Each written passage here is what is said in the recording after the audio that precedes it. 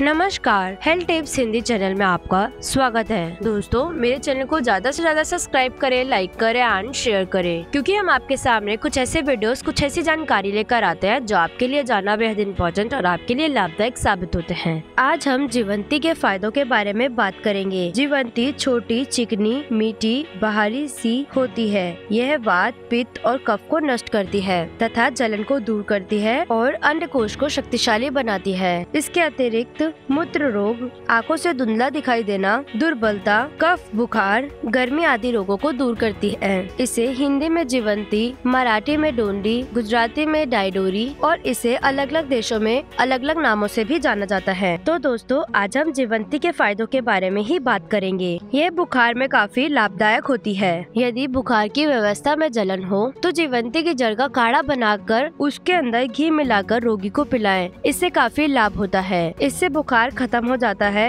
और बुखार में होने वाली जलन भी खत्म हो जाती है। यह रक्तौंदी रोग में भी काफ़ी लाभदायक होता है।